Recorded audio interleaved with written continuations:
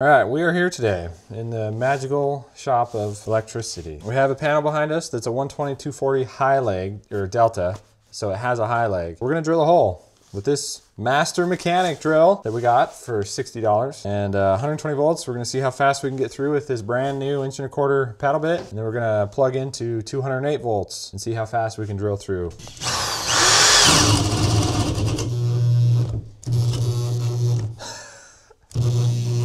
That's all she's got, huh? Pretty solid. All right, we're on 208 volts now.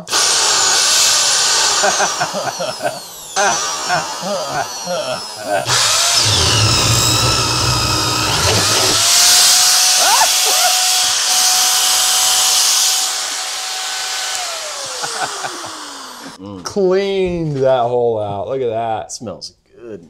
Keep punching holes and see if something melts.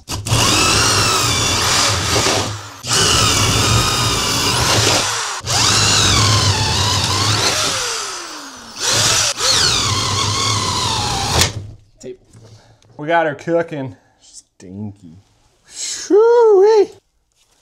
So, I think she's uh, I think she served us well. If I'm being honest, we got a solid six holes out of her, but they were fast holes, so we'll take it.